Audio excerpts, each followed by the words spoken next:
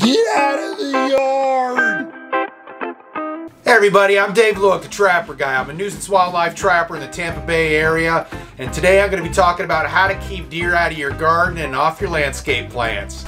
Now, whitetail deer are herbivores, and during the fall months, they'll be eating hard mass like acorns. In the summer, they'll be eating soft mass like things like fruit. But year round, they're going to be browsing on leaves and stems, and that's going to spell disaster for your landscape. Now, there's a lot of solutions on the internet for keeping deer out of your garden, and if they work for you, great, keep using them.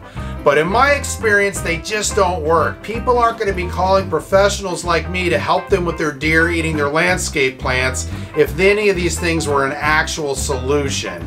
And one of the first things I notice is people talk about putting human hair out throughout their garden. Now, it just to me is not going to work. It's the smell of the human on that human hair that's supposedly going to keep these deer out of your garden. But in a neighborhood, there's human smells all over the place anyhow. Not to mention the difficulty for some people getting a hold of the amounts of human hair you need.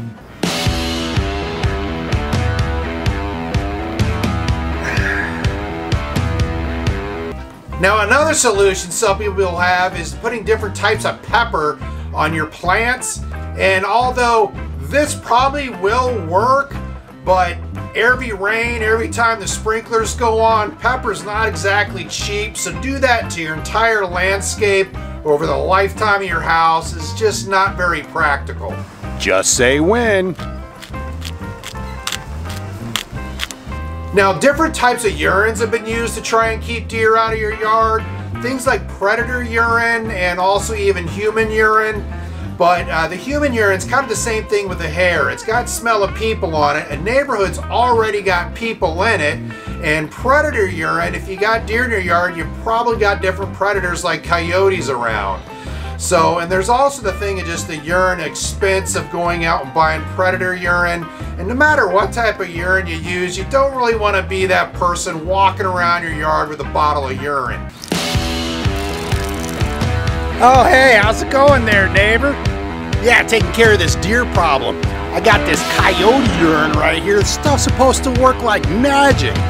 Anyhow, take it easy. Have a great day. And any type of discussion about repellents would not be complete without bringing up mothballs.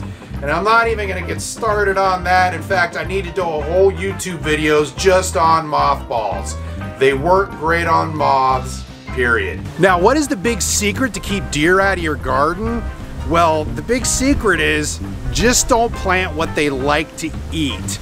Here in Florida, if you love hibiscus and impatiens, you're gonna have a never ending battle with deer no matter what you do. So the best thing to do, and there's no one right plant or wrong plant depending where you're at, go to your local nurseries. If you have deer population in your area, just go to your local nurseries and just ask for plants that are deer proof or deer don't like to eat.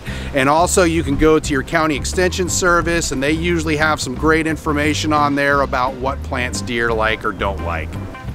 Now, what if you have another type of garden or you have garden plants that you just have to grow, like saying you're growing a vegetable garden? Obviously, deer are going to like to eat those. You're growing them because you want to eat them. So not planting them is not an option. In that case, you're going to have to do fencing.